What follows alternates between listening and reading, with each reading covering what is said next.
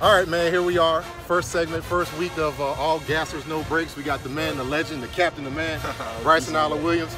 Man, we're going to get ready to, to walk this gas and ask you these questions, man. So you ready? Over, back, over, back? Yes, sir. Let's All right, it. man, let's get to it. So what got you here to South Carolina? You're a Georgia guy.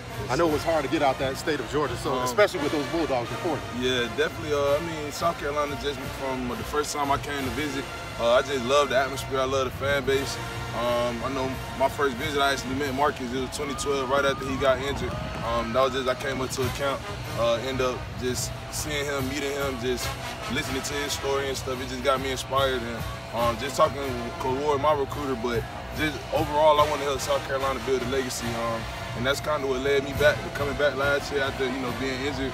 Um, just you know trying to create a legacy with a lot of the guys. So Absolutely, absolutely. So that probably leads into the next question. Who's probably one of your like football idols, football mentors? Would you be safe to say probably Marcus? And- Uh, well, Marcus definitely, but I talk a lot to DJ, uh, DJ Swearinger. Uh, he's one of the guys that you know I I, I, I want to play with that tenacity. Oh, oh, we coming up on the yeah, first yeah. stop. Let's turn got around. First stop, got the first stop. Um, Here we go. Yeah, DJ is one of those guys. You know, just his tenacity on the field. Uh, you know, Melvin is a guy, another guy that I look up to. You know, a lot of the Gamecock legends. Uh, you know, talk to talk to Skai all the time. Skai Absolutely. definitely that's one of my best closest friends. Um, he actually came here a year before I got- uh, before I got here. So, um, you know, those guys are the three guys that you know I kind of talk to and you know look up to as far as like football and what they did for South Carolina.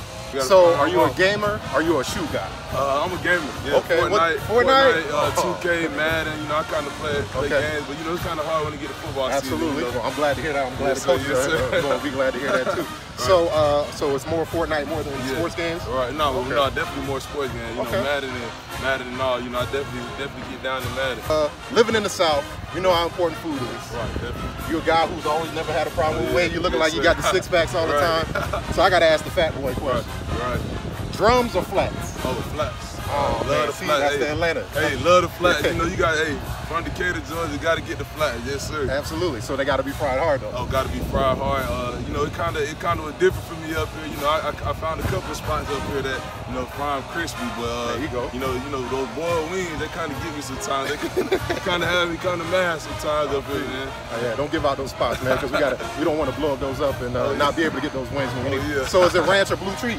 Uh, for me, ranch. Yeah. Okay, okay. So last last trek of the trip, you've done a lot of great things at this school. Um, as a student athlete, do you remember the first class you ever took? Uh, my first class, U one on one with uh, an advisor, Art Farlow. Uh, you know, just that class, just meeting a lot of those people, were a lot of the people that you know I spent most of my career uh, career with here academically.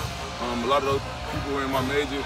Um, but that class just was kind of special to me because you know it really showed me that you know he inspired me to really pursue everything academically. Um, you know he told me I was more than an athlete, and you know that you know I need to if I want to be a broadcast journalist, I want to be a part of the media, you know pursue that. Um, you bigger than just an athlete. So you know my family told me that, but Professor Art Follow, you know uh, he's an advisor here. You know he definitely told me that too. I love it. I love it. One last thing. Let's talk about this SEC Leadership Council. I mean, it's a great privilege, privilege to be named to that, but you're one of the chairmen, so you got to be kind of like at the pinnacle of that. Yeah, How'd you get to be to that point? Um, you know, just just constantly, you know, uh, Coach Muschamp, you know, his first year here, you know, they, they came up with it. Uh, Commissioner Sankey, um, you know, Coach Muschamp, he just saw that, you know, he saw that leadership quality in me, and once they invited me, uh, just being vocal and you know actually talking and being you know proactive in the meetings and the dialogue, uh, they actually just love my conversation, um, and then just constantly going back when again last year, you know, not knowing I was gonna get injured. Uh, I was able to go back last year, and you know the guys voted me as the vice chairman, and it meant a lot. Um, definitely going to the. I went to Dallas for the tournament meeting and helped pass the transfer rules. So you know that was that was pretty special to me. Uh, you know my last year helping set groundwork for you know the, the generation after me. So That's perfect, man. A guy that's more than just a football player, more than Yes, just an athlete, a great student, a leader on this team, man. And he had extra questions and answers to spare, man. Yes, sir. Great Yes, job, sir. man. We appreciate your time.